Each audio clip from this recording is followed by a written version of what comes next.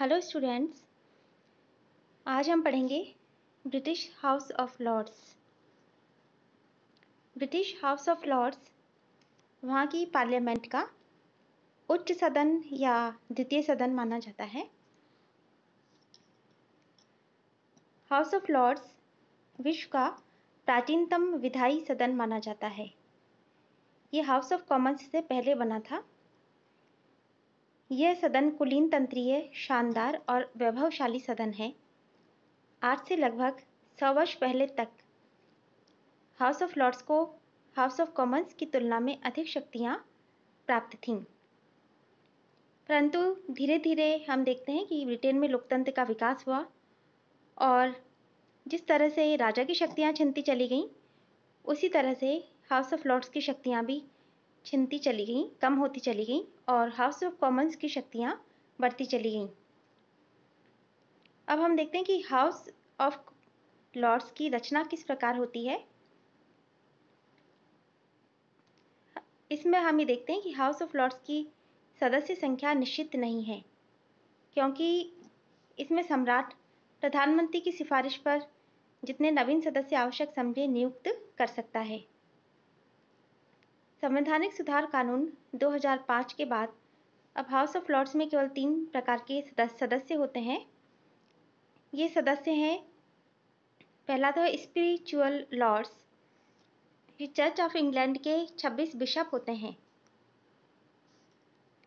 इनमें एक कैंटरबरी का आर्क बिशप एक यार्क का आर्क बिशप एक लंदन का आर्क बिशप एक डरहम का बिशप और एक विंचेस्टर का बिशप अवश्य शामिल किए जाते हैं। शेष 21 इंग्लैंड के चर्चों के वरिष्ठ बिशप होते हैं। इसके बाद हमें देखते हैं कि वंशगत या लॉर्ड्स टेम्पोरल, ये द्वितीय प्रकार के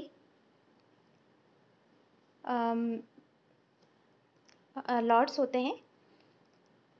ये वंशानुगत शिष्ट जन हैं, यानी कि वंश के आधार पर नियुक्त किए जाते हैं, जिन्हें पहले जिन्हें हाउस ऑफ़ लॉर्ड्स के नियुक्ति आयोग की सलाह पर नियुक्त किया जाता है।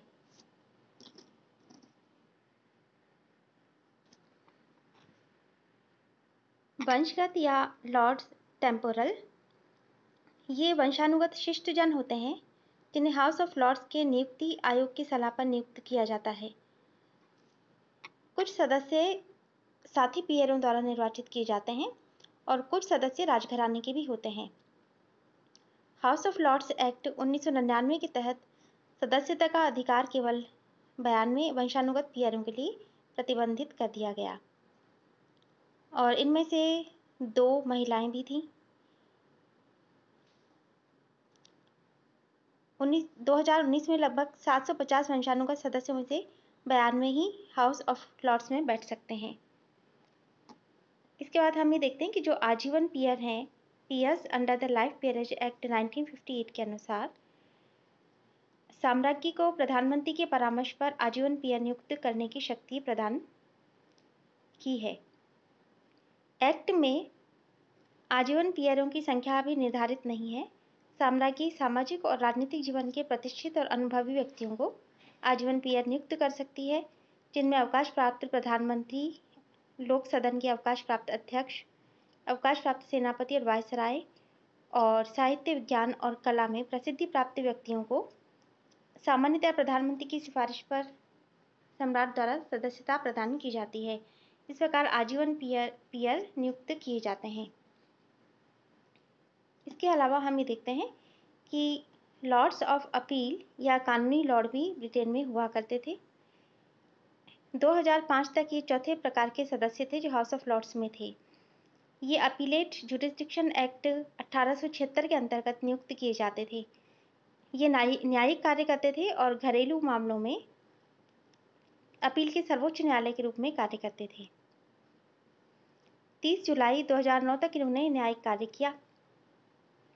1 अक्टूबर 2009 से यूनाइटेड किंगडम में सारे दीवानी वादों का और इंग्लैंड, वेल्स और उत्तरी आयरलैंड में सारे फौजदारी वादों का यूरिस्डिक्शन सर्वोच्च न्यायालय ने प्राप्त कर लिया।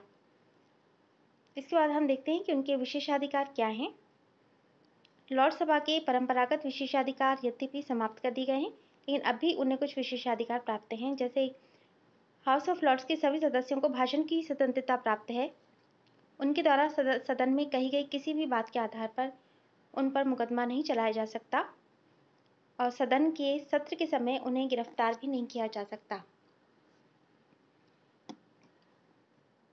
और हाउस ऑफ़ कॉमन्स के सदस्य तो केवल स्पीकर के माध्यम से सामूहिक रूप से सम्राट तक पहुँच सकते हैं, लेकिन हाउस ऑफ़ लॉर्ड्स के सदस्यों को व्यक्तिगत रूप से सम्राट से सार्वजनिक विषयों पर वार्ता करने का अधिकार है।